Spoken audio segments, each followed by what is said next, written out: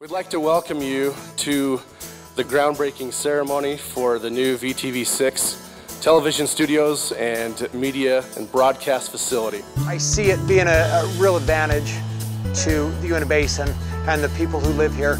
Um, it's going to benefit the local community and, and basically everyone from the community. And we just really appreciate the opportunity to be a part of it.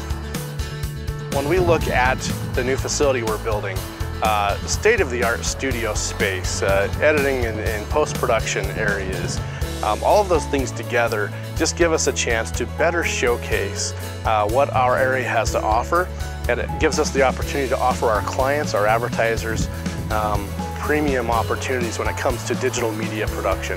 From my perspective is uh, I hope this is a beginning of a new development for VTV6. Having the studio greatly enhances their ability to do their jobs and opportunities for the community. It shows well and it shows, uh, we think it's going to show what, what VTV is trying to project out to the community.